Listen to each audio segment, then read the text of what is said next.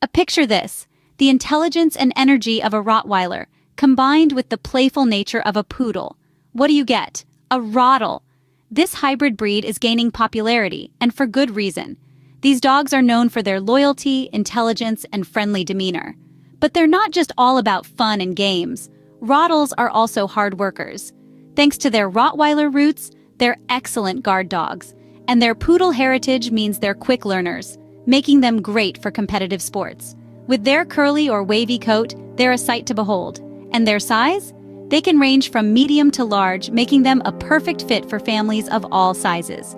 So, if you're looking for a breed that's got brains, beauty, and brawn, the Rottle might just be your perfect match.